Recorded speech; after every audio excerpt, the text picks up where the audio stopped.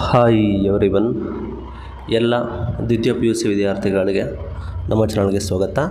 ಫಲಿತಾಂಶದ ಕುರಿತು, ದ್ವಿತೀಯ ಪಿ ಯು ಸಿ ಫಲಿತಾಂಶದ ಕುರಿತು ಇಂದಿನ ಪ್ರಮುಖ ಮಾಹಿತಿಗಳು ಕೂಡ ಬಂದಿದ್ದಾವೆ. ಇವುಗಳನ್ನು ತಿಳಿಸ್ಕೊಡ್ತೀವಿ.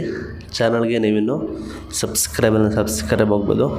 ವಿಡಿಯೋ ಇಷ್ಟ ಆದರೆ ಲೈಕ್ನ ಮಾಡ್ಬೋದು. ಇಲ್ಲಿ ನೋಡೋದಾದರೆ ವಿದ್ಯಾರ್ಥಿಗಳೇ ಇಲ್ಲಿ ಸಾಕಷ್ಟು ವಿದ್ಯಾರ್ಥಿಗಳು ಪರೀಕ್ಷೆಯನ್ನು ಕೂಡ ಮುಗಿಸಿದ್ದೀರಾ? ಮೇಯ್ನಾಗಿ ರಿಸಲ್ಟ್ಗೆ ವೆಯ್ಟ್ ಕೂಡ ಮಾಡ್ತಿದ್ದೀರಾ? ರಿಸಲ್ಟ್ ಡೇಟ್ ಬಗ್ಗೆ ಇನ್ನೂ ಕೂಡ ಗೊಂದಲ ಇದೆ. ಯಾವುದೇ ಅಧಿಕೃತ ಮಾಹಿತಿ ಕೂಡ ವಿದ್ಯಾರ್ಥಿಗಳಿಗೆ ಇನ್ನು ಇಲ್ಲಿವರೆಗೂ ವಿದ್ಯಾರ್ಥಿಗಳಿಗೆ ಬಂದಿಲ್ಲ. ಅದರಲ್ಲಿ ನೀವು ನೋಡ್ತಾ ಇದ್ದಾರೆ ಮೇಯ್ನಾಗಿ ಮೇ ಮೊದಲನೇ ವಾರ ಅಥವಾ ಎರಡನೇ ವಾರ ನಾವು ರಿಸಲ್ಟನ್ನು ಕೂಡ ಬಿಡ್ತೀವಿ ಅಂತ ಈ ಹಿಂದೆ ನೋಟಿಫೈನ ಮಾಡಿದ್ದಾರೆ.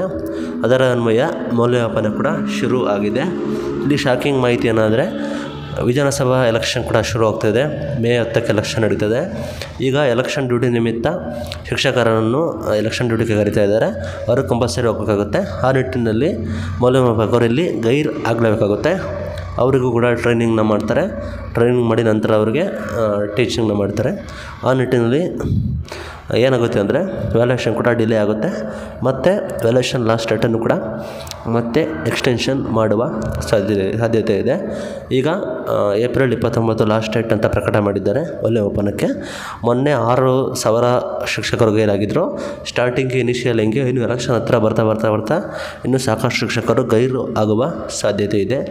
ಆ ನಿಟ್ಟಿನಲ್ಲಿ ಪಲಿ ವ್ಯಾಲ್ಯೂಯೇಷನ್ ಡಿಲ್ ಡೇಟ್ ಕೂಡ ಎಕ್ಸ್ಟೆಂಡ್ ಮಾಡ್ತಾರೆ. ಅದರ ಅನ್ವಯ ಇನ್ನೂ ಕೂಡ ರಿಸಲ್ಟ್ ಕೂಡ ಡಿಲೇ ಆಗೋ ಸಾಧ್ಯತೆ ಇದೆ.